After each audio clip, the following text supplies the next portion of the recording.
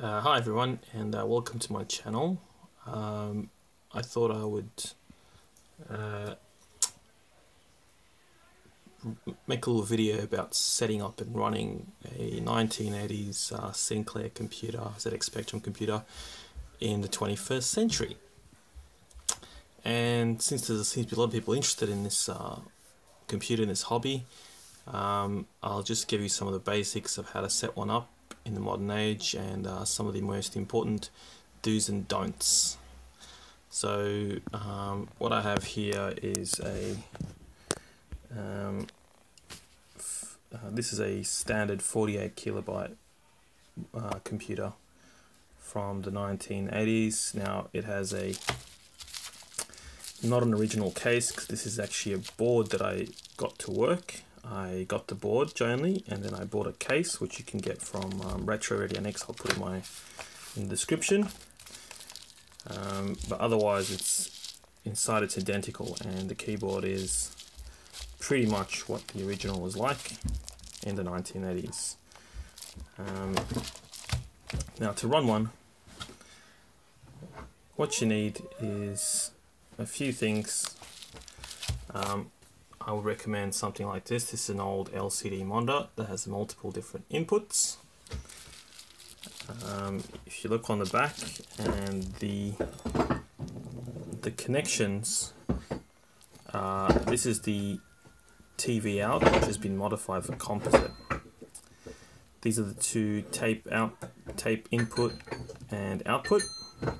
This is the edge connector, and this is the power socket.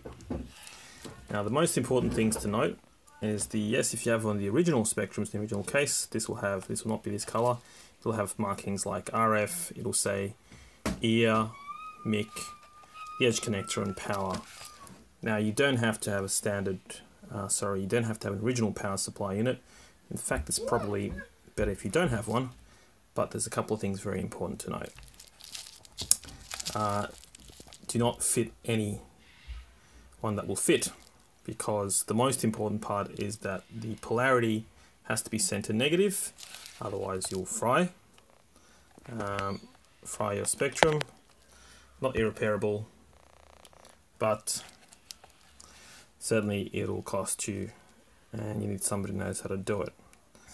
Uh, the other thing is with peripherals we're used to in the 21st century you can plug things in and out like USB things, any mouse or keyboard, no problems. But um, you never, never plug in any peripheral in and out while the power is on. And this applies to most, uh, I think, 80s and 90s computers. Okay, so so here's my TV cable, and this is being composite modded, which is which means that the output is now composite rather than RF. It gives you a clearer picture and you don't have to tune anything, but it comes out of the same point. So, uh, yep.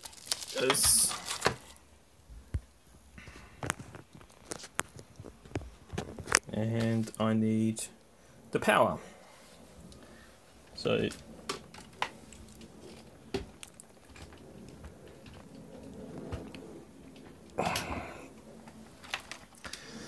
I have a non-standard one. It's set to 9 volts. If you have it over, slightly over, it's not a big deal. If the regulator is fairly uh, tolerant, what you don't want is to be under, because then it'll behave strangely. You won't fry anything, but it'll behave strangely. Um, so you want 9 to 12, even 14 volts but the most important thing is the tip. If you have a standard one, lucky you, I don't, I haven't had one for years. Mine died years ago. So you have one of these which is non-standard and you'll notice on it that it has an invertible tip. I have the tip is to negative, so this is the negative and this is the positive.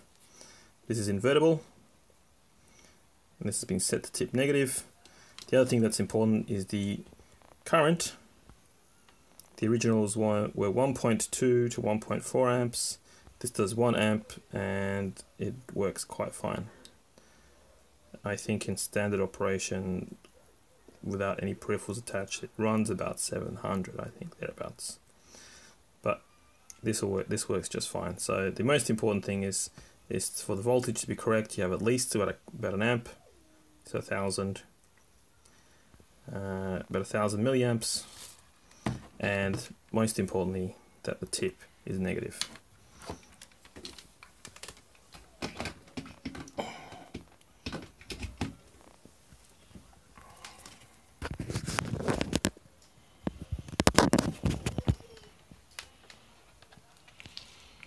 Okay, there is no reset button on this and over the years all the wear and tear and spectrums for me real pain was the power socket. In and out in and out. So let's get this on. And there you go. And if everything works well this is the prompt you should be greeted with. Okay you are in the basic editor.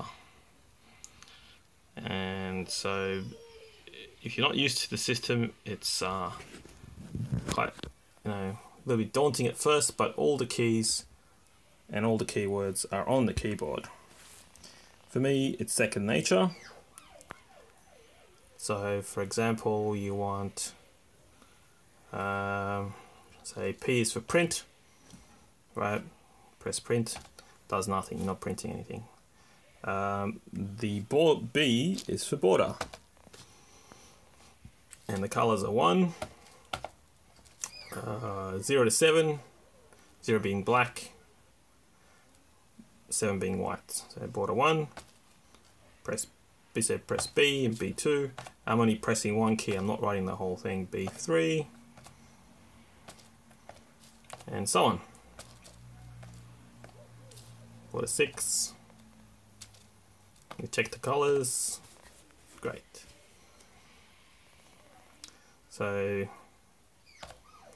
you say, for example, you're a very basic program. You start with a line, say 10. You press the P button, it gives you print. Now, being a string, you have to put some quotation marks. For that, you use symbol shift and P. There it is, symbol shift P gives you quotation marks. So say hello.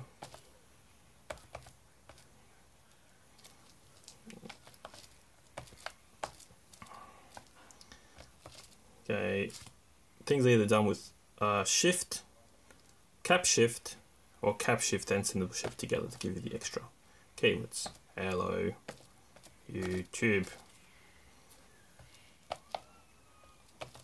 Yep, there's your program. R is for run. Press R. Done. Okay. So let me set it up so that I can load you something from tape.